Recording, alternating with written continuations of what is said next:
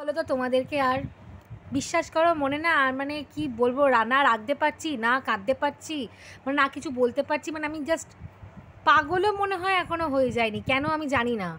মানে এত অ্যাডভাইস এত অ্যাডভাইস শুনতে শুনতে শুনতে শুনতে আমি মানে পুরো আমি কাহিল হয়ে গেছি, বিশ্বাস করো। মানে কি বলব, আমি আমি যা লাইফে যে অ্যাডভাইস শুনেছি, এত অ্যাডভাইস শুনেছি মানে আমি জানি না এত কেউ অ্যাডভাইস শোনে কি না মানে তুমি ভাবো একটা ব্যাপার, ধরো তোমার চোখে ঘুম আসছে না এখন। মানে তুমি পাগল হয়ে যাচ্ছ যে তোমার ঘুম আসছে না কেন? তুমি জেগে আছি কেন?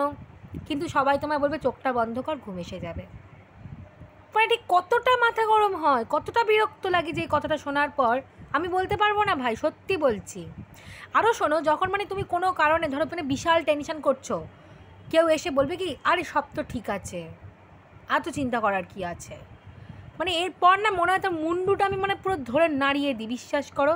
আমি মরে যাচ্ছি টেনশানে মানে আমার মনে হচ্ছে যে এরপর কী হবে, আমি মাথা আমার কাজ করছে না, কোনো কিছু খেয়েই তার লয় কিছু খুঁজে পাচ্ছি না, সব ঠিক হয়ে যাবে। আমি জানি না কি করে ঠিক হবে, ভগবানও জানে কিনা ভগবান জানে। যাই হোক তারপরে মনে মনে ভাবতাম যে ঠিক আছে, এখন ছোট আছি, পড়াশোনা করছি, মাধ্যমিক, এইচএস পরীক্ষা দিচ্ছি, স্কুল কলেজ যাচ্ছি বলেই হয়তো সবাই এত এত অ্যাডভাইস দেয়। রাত্রির যুগে কিন্তু পড়তে হবে, নইলে কিন্তু হবে না। আচ্ছা ছেড়ে দাও এইটা কিন্তু করতে হবে, নইলে কিন্তু হবে না। ওকে কিন্তু দেখে এত কিছু শিখো না। ওর হচ্ছে মানে যে তোমার হবে সেটা কিন্তু নয়। সব মেনে নিয়েছি। ভেবেছিলাম যে ঠিক আছে, এবার বড় হয়ে গেছি, বিয়ে করে নিয়েছি, এবার আমি সবাইকে অ্যাডভাইস দেবো, কিন্তু আমাকে আর কেউ অত অ্যাডভাইস দিতে আসবে না। কিন্তু বিশ্বাস করো বিশ্বাস করো, সত্যি বলছি।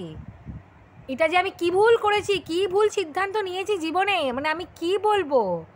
জবে থেকে বিয়ে ঠিক হলো, আর তারপর থেকে মানে এত রকমের অ্যাডভাইস শুনেছি, এত রকমের অ্যাডভাইস শুনেছি যে মাঝে মাঝে মনে হতো মানে এত সবার অভিজ্ঞতা যখন আছেই, তারপরও সংসারে এত অশান্তি হয় কেন? মানে এত বুদ্ধি তো তারা তাদের সংসারেও কাজে লাগাতে পারতো, কি জানি? বুঝতে পারতাম না, জানো তো বিশ্বাস করো। সেটা ছিল একটা লেভেল ওই লেভেলটা পেরিয়ে যখন যখন আমার মেয়ে আইভি হলো বাপ রে বাপ! মানে জ্ঞানের ভাণ্ডার কম পড়ে যাবে। এরাম করে তেল মাখায় না, বড় করে কপালে কাজল পড়ায় এটা এই করতে হয়, এটা না হলে ওই হয়ে যায়, আমি জানি। বুঝতে পারছি, সবই ইম্পর্টেন্ট আমি কিন্তু কারুর কথাটা বলছি না যে ফেলে দেওয়ার মতো নয়। কিন্তু ভাই, কিছু সাইন্টিফিক ব্যাখ্যাও তো মানতে হয় জীবনে। ডাক্তার বারণ করছে, যেটা করো না, কিন্তু না, বাপ রে বাপ। তুমি করো না বললে কি আমি তোমার কথা মেনে নেব? ডাক্তার কিচ্ছু জানে না। ওর ওরা কি অত জানে নাকি? ওদের তো বুদ্ধি আছে নাকি? সব বইটুকে পাস করেছে? হ্যাঁ? মানে কি বলব, বিশ্বাস করো, আমি মানে পাগল ভাই, পাগল। এত অ্যাডভাইস নিতে নিতে, না, নিতে ঠিক না অ্যাডভাইস মানে শুনতে শুনতে পাগল।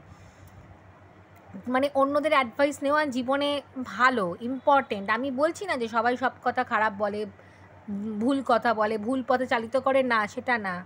বাট কী বলো তো অ্যাটলিস্ট এতদিন পর না, আমার এই এই এত বয়সে এসে মানে আমি তো এখনও বুড়ি হইনি, এই আঠাশ উনত্রিশ বছর বয়সে এসে আমার একটাই কথা শুধু মনে হয়, আমি যেটা করি, ওটাই ঠিক, ওর বাইরে দুনিয়ার সব কিছু ভুল।